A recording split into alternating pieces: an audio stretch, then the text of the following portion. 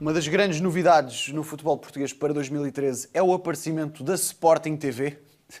Não, não, uma piada. As emissões vão começar durante o próximo verão e o Vamos à Bola o quê?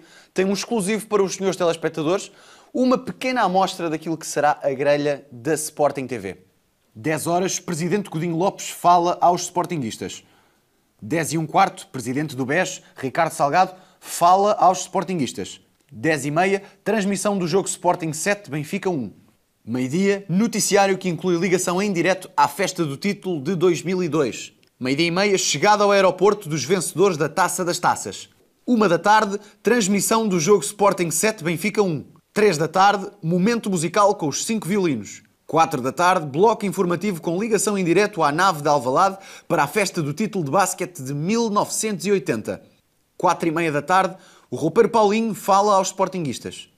Um quarto para as 5, transmissão do jogo Sporting 7, Benfica 1.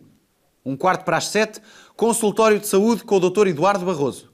7 da tarde, programa de humor, Barbosa e Cristóvão. 7 e meia da tarde, transmissão do jogo Sporting 7, Benfica 1. Portanto, este será o dia típico da Sporting TV, vai ser transmitido em HD, 3D e preto e branco.